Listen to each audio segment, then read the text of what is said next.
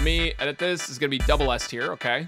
And we'll have triple S tier as well. And then we'll have F tier. So you have your S tier, and you have S tier, and then you have S tier. Those tabs. Don't worry about the tabs, chat. chat. You're looking at the wrong stuff, okay? Don't worry about the tabs. The tabs are irrelevant. They're all relevant, actually. That's why they're open. They are all relevant, okay? We have Jenny's stream up. Okay, we have dad jokes. It's important. We have... Every morning I get hit by the same bike. It's a vicious cycle. All right, so today we're gonna be taking a look at all of these new weapons, including some of the weapons from 2.6. You can see the Haran that I'm, I'm moving around on screen right now. We're gonna be taking these weapons and we're gonna be ranking them from triple S tier all the way down to F tier. All right, let's take a let's take a look. Okay, so we have we need to set we need to set the baseline, right? So the baseline is going to be we have Mist Splitter, triple S tier weapon. Uh, it's just so good. Uh, it's just the best sword in the game. Uh, up there, up there in the running with Jade Cutter. So these two weapons are both very good. I would say Mist Splitter leans towards being the better weapon, uh, but Jade Cutter is very good for the crit value it provides. I'm not going to be rating them by different refinements. These are all R1. Wolf's Gravestone, I'm going to put it in, for now, I might move this around later. I'm going to put Wolf's Gravestone in S tier. I'm going to put Unforged up there with it. Unforged, maybe a pain in the ass to get the passive up on, but it's still really strong when you have it activated. Uh, Wolf's Gravestone is a little bit easier to use and more consistent, but Unforged is still pretty good and it's up there. Freedom Sworn double S. I'm, I'm gonna just explain this right now because a lot of people are gonna be really confused. It's literally Noblesse on a weapon for your entire team. And it's actually more than Noblesse. It shares more than just Noblesse buffs. And on top of that, it's an EM sword, which is just like, you know, it can be good on Jean and Sunfire. It can be good on Kazuha. But in general, it has, you know, your five-star stats as well. And it works on a lot of different characters. So overall, Freedom Sworn is actually pretty good. Controversial, Harbinger of Dawn, A tier. People go, Harbinger of Dawn has 100 uh, crit value. But but here's the thing. Here's the controversial part of it, is that you have to be above 90% HP. And since Hoyo has just been like pushing all these characters that deal damage to your entire team, even while off the field, this instantly becomes worse. I normally would have actually put this in S tier. Uh, but right now, it's just not the case. I'm gonna move it down one tier. Amenoma, I'm actually gonna put an S tier as well. I actually think that this sword is probably the best free-to-play sword now. In terms of the HP thing, I actually think Amenoma is just a, a better sword. Iron Sting just doesn't see a lot of uses. Like, you basically can only use it on Kazuha and, like, maybe Jean in Sunfire, but it doesn't provide you the same buffs that Freedom Sworn is and does, and that's why Freedom Sworn is so good. But I feel like this probably goes between C and B tier. I'm gonna put it in C tier to be safe. How would I rate Cinnabar? It's just only usable on, like, one character, right? For that one character, it's probably A tier, but like as a weapon, generally speaking, I'm gonna put it in D tier. See, it's tough because I want to put Skyward in S tier. Yeah, I think I put Skyward in S tier. I, am surprised by how many people don't use Skyward because of the ER stat. Aquila Favonia, A tier. Great base attack, but it, you use it on Bennett for buff, or you use it on, on Kaeya for Fizz, and who uses Kaeya Fizz? Sacrificial, I'm going to put in A tier. It's good. It's very good, but uh, is the only one that takes full advantage of Sacrificial.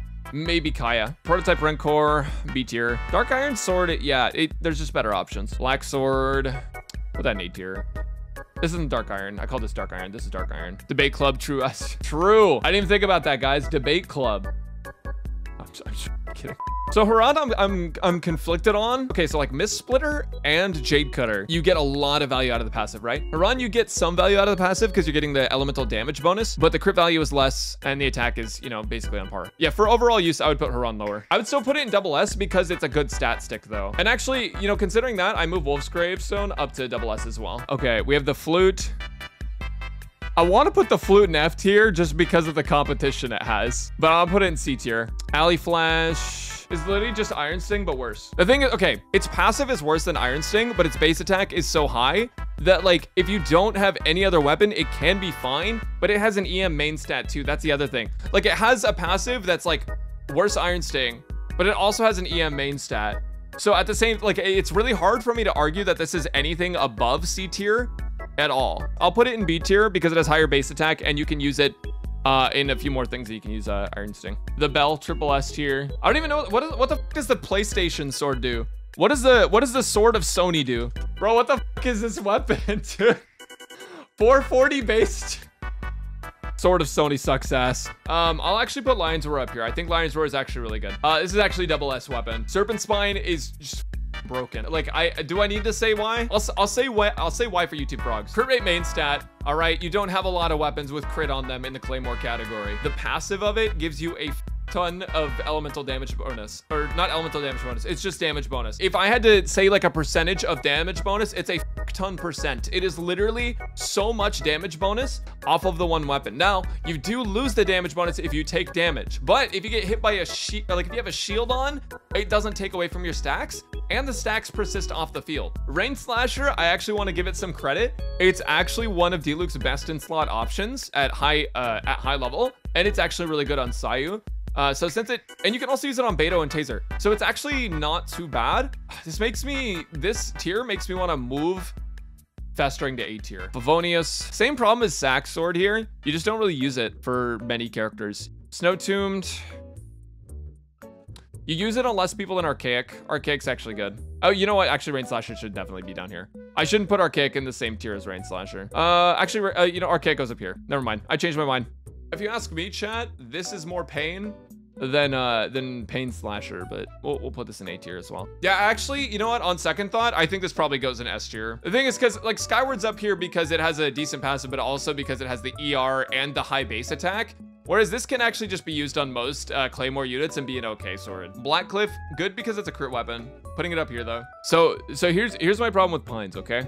Increases attack when normal or charged attacks hit opponents, right? For Eula, that's really great, but it takes a lot of time to switch characters and then switch to Pines. That's a big problem for me. It, it, seems very like niche. It does have a really high base attack. So I am gonna put it in S tier. I don't think it's double S. I do think, so we, we actually ran into Aquila Favonia pretty early on in the tier list, but after thinking about that a little bit, about how we uh, put this Pines in S tier, but we left Aquila down here. I actually do think we can move Aquila Favonia up. The, the crit value, oh, Actually, I might put this in double S. Good stat stick in general. The defense, people saying to use it for the defense are kind of coping, but it's like unless you're on Itto or Noelle. Uh, Itto, Noelle, Xinyan, but I don't know who Xinyan is actually. That was just a name that came to my mind for no reason. Kind of Freudian slip. I don't really understand what that was. Don't think about it too much. Just because it's less flexible than Unforged, I'm putting it in S.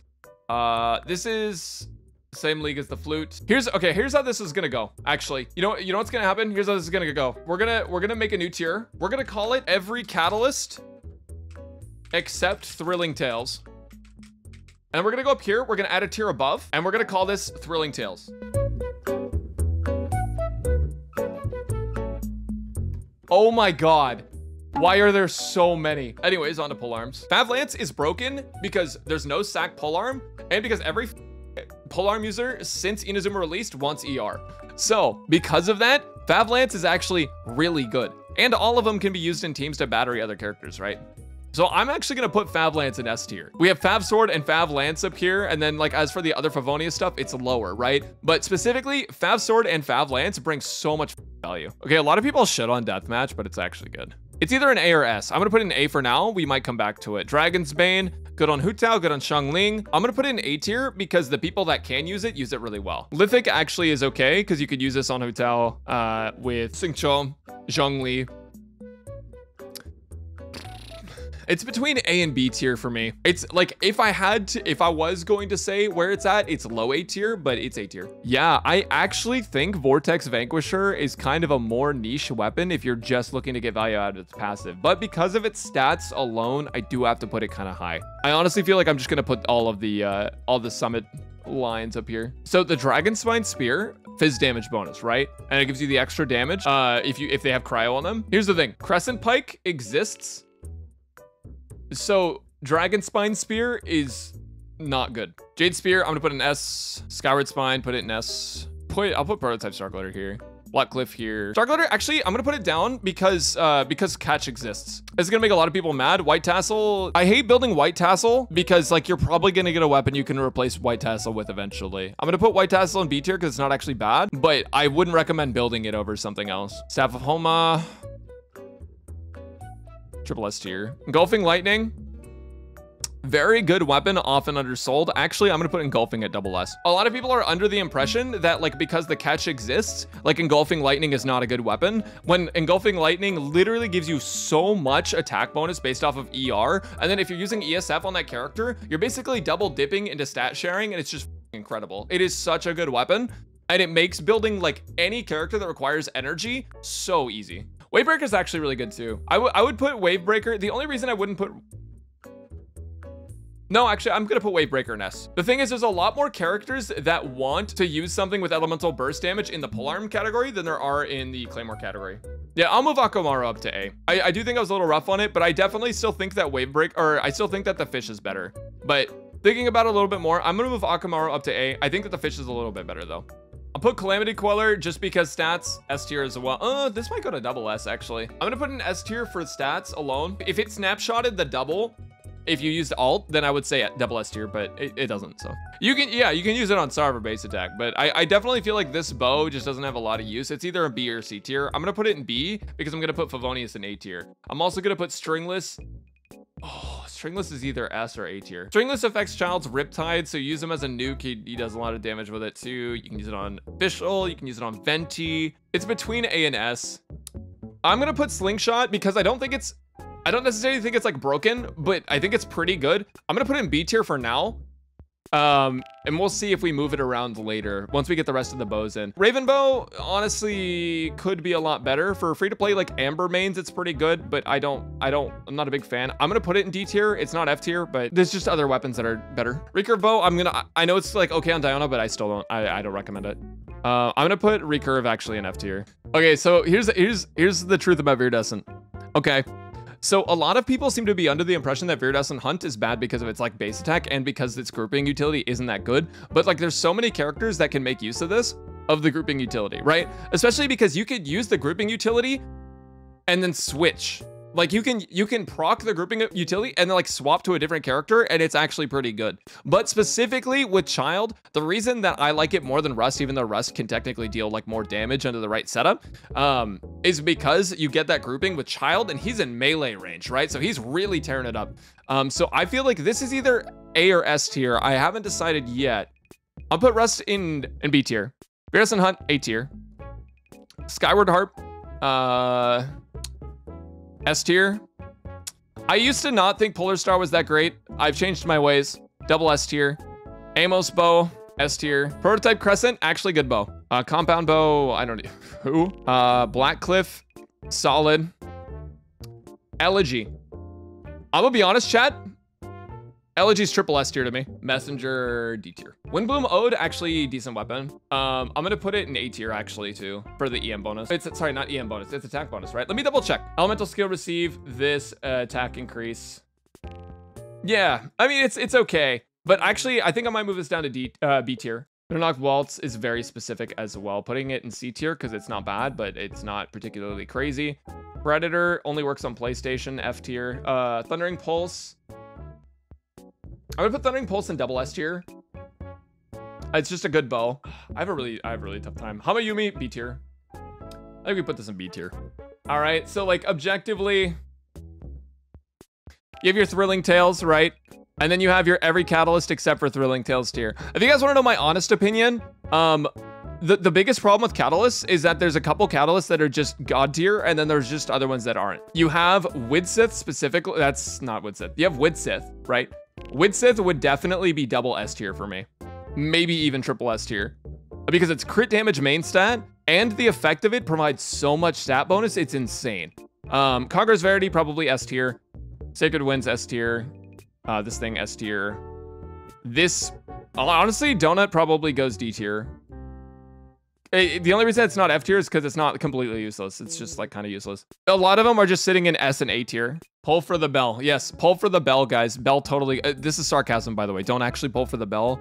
It's actually not a good idea. Don't don't do that. Just as like a a general rule, general disclaimer, like try not to take this like too seriously. Like this is just, uh, it's not like I planned for this video and spent months researching. This is just an off the top of my head kind of thinking about where each weapon would rank tier list. It's not like the weapon bible, right? It's just my opinion on certain things and like you're welcome to disagree with it. Uh, actually, you're not welcome to disagree with it. I, I take that back. Actually, this is the definitive tier list. If you disagree with me, uh, you're wrong. So that, that's it. Yep. If you guys have enjoyed, make sure to hit that subscribe button down below. Leave a comment if you think that any of these should be in a different tier. I need to think for a second, but I can cut this because I have editing. Give me a second. And consider leaving a like as well. It really helps me out. Anyways, guys, I will catch you guys later. See you on the... See you on the other side.